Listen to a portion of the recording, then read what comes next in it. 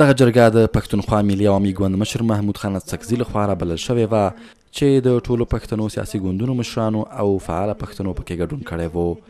دغه جرګه کې راټول شوی پښتنو پر پښتون وطن د شته ستونزو په تړاو خبرې وکړې او د حل لپاره یې د پاکستان له حکومت 15 غوښتنې درلودې جرګې لاټک نه تر شمالي او جنوبي وزیرستان او د پښتونخوا او نورو پښتنو سیمو پر یوې واحدې او خپلواک سیمې جوړولو غوښتنه وکړه د محمود خان اڅکزي بله غوښتنه په پښتون خاوره پښتنو زده کوونکو ته په مورنۍ ژبه د زده کړو ورکول وو. د میاوالی اټک په پنجاب کې دا وخت د هغو په ګډون خیبر پښتونخوا او جنوبي پښتونخوا پر دې مشتمله دي د پښتانه یو قومي صوبه جوړه شي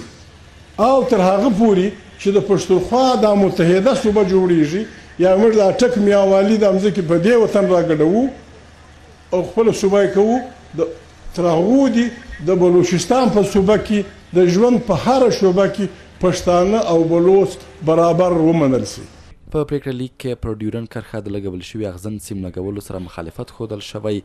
او غوښتنه دا ده چې د دواړو غاړو خلکو ته دې پرته له پاسپورټ او ویزې د تګ راتګ اجازه ورکړل شي. موږ ته دې دا لارې را خلاصې کړي موږ دې دې دې ته نه مجبور کړي چې دا تار ګسه خدای پاک ورک کړي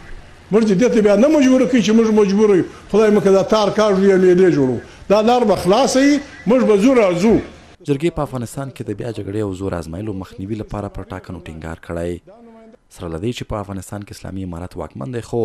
دغه جرګه د انتخابي حکومت جوړېدو تمه لري دا نماینده قامي جرګه غوښتنه کوي چې د افغانستان د لوی جرګې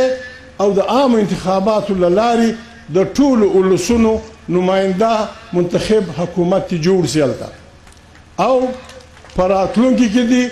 د طاقت په زور یا د توپک په زور پر حکومت نیولو سم کلک بندیز وي دا دې غیر قانوني وبلل شي او افغان ملت سره دې دا کار غداري وګڼل شي. د جرګې ګډونوالو ژر تر ژره د پښتون ژغورنې غورځنګ د مخکښو غړو علي وزیر، حنیف پښتین، ویس ابدال، قاضي طاهر او نورو نیول شوو غړو د خوشې کولو غوښتنه وکړه.